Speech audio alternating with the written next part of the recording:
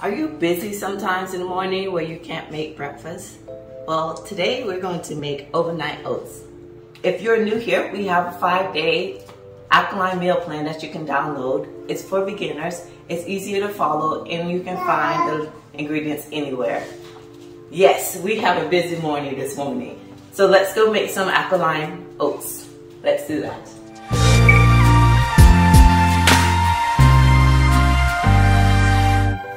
First, we need to start by making our spelt flakes. Now, you don't have to make spelt flakes. You can buy some. Uh, my favorite one is in the description below. But I wanted to try to make my own flakes. So these are spelt berries I just got at my local health market. And then I soaked them with some spring water and overnight. And so I just soaked them enough where it covers just a little bit above the spelt because it will span some as the spelt berries absorb the water. And then the next day you should have this little bubbles that tells you that it did its magic. And then I just drain it here and rinse them out. If you don't use it, if you soak them more than 24 hours, you are going to get a funky smelling flakes. So don't soak them more than 24 hours. So I use my pasta machine maker to make my flakes. So I'm just adjusting it and setting it up. You do need a glass bowl to put under it so it can catch the flakes. And then after you get it all set up, you're going to crank it. So I started on a number four of my pasta maker machine and then I move it down to number six. So number four was to help me break it up a little and then the sixth one was able to give me that flat. If you're a lot stronger than I am, you can just go straight to number six.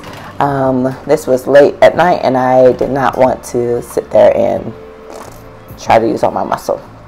And then I decided to make hemp milk. This hemp milk has dates as the sweetener. Usually I don't sweeten my hemp milk um, just because my daughter doesn't like it sweetened. But this time I decided, hey, I'm making overnight oats. I want that extra sweetness. And you can't go wrong with some dates.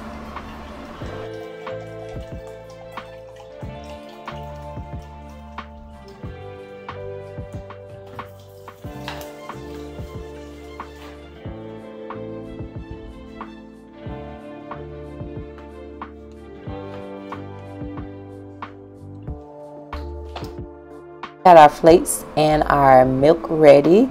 It's time to make our overnight oats.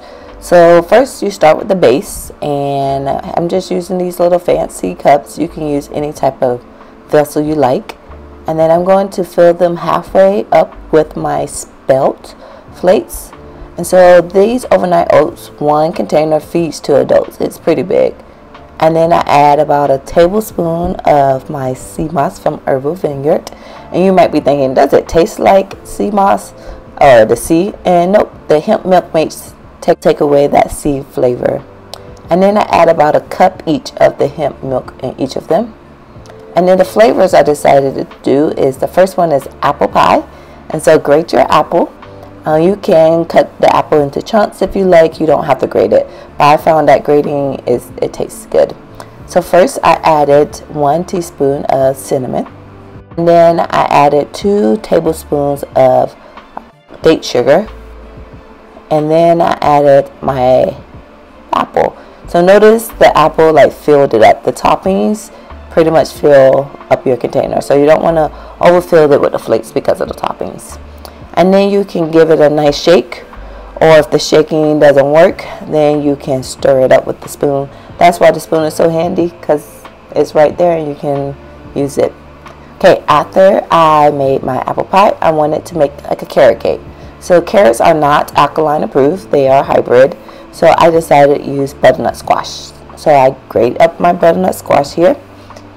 And then after I grate up my butternut squash it's time to add all the all the toppings. So I just add the butternut squash right away, and then I add some raisins, and then of course you need to add some cinnamon. And remember to get the real cinnamon. Don't buy that fake stuff. So the real one is linked in the description below.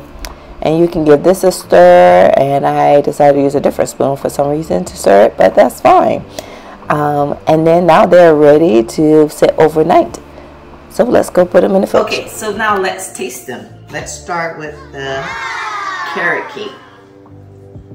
So it's all nice and smushed up. It came together very nicely. I believe the sea moss does help make it nice and smushy. Okay I want a scoop where I have both butternut squash, raisin, and the spelt.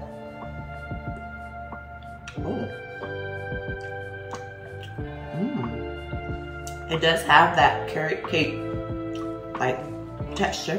The raisins does help with that.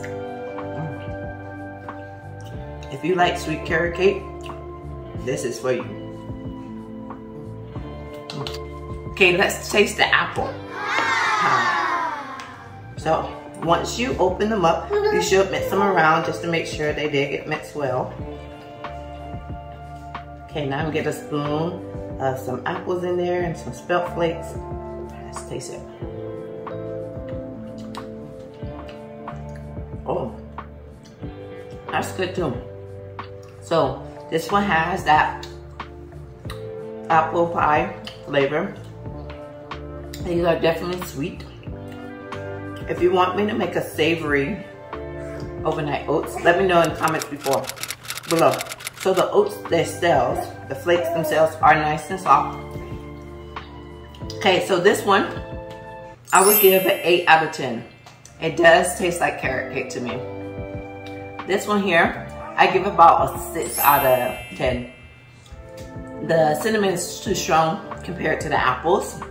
So I either add more apples or I do less cinnamon. But both of them are really good. So please give it a try and let me know how it goes on the different social. Thank you for watching. And if you want to watch more videos, just click here.